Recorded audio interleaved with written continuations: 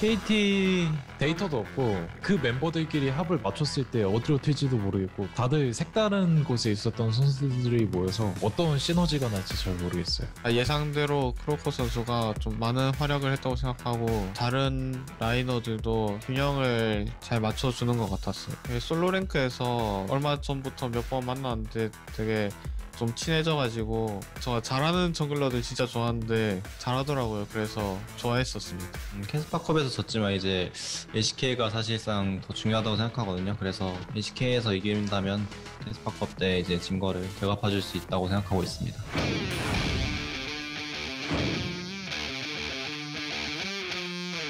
탑 구도는 너없도왕이 맞는 것 같고요. 이제 도란이 왕이기 때문에 이제 왕이 이기지 않을까 생각합니다. KT 와서 저가 느껴질 정도로 좀 성격이 약간 달라진 그런 기분이 들거든요. 너업 도왕이 이제 제 개인적인 생각인데 이거 솔직히 좀 비밀로 해주셔야 될 것 같은 게 만약 이걸 도란 선수 알게 되면은 자기 그 머리가 좀 커져서 딱히 할 말은 없네요. 할 말이 없습니다.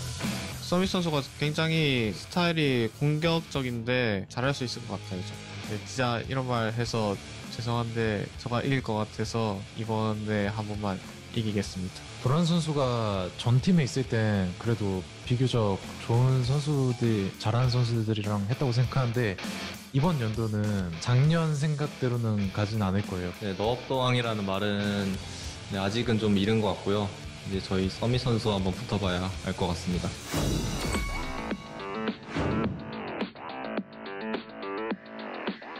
저희 KT의 목표는 일단 뭐 전통 강호라 불리는 3강 팀들이 생각하기에 얘네한테 질 수도 있는 거 아니야? 약간 좀 얘네 빡세다 이런 생각이 드는 그래도 좀 강팀 느낌 나는 게 목표고요. 잘해보도록 하겠습니다. 저희가 2대 0으로 이길 것 같고요. 잘 하겠습니다. 화이팅! 노부 선수가 작년에 저희 팀에 있을 때나 아니면 나와서 이제 저랑 솔로 랭크에서 많이 만났을 때나 그 선수는 저를 이긴 적이 한 번도 없습니다. SK 경기도 제가 그렇게 만들어주고 싶어요.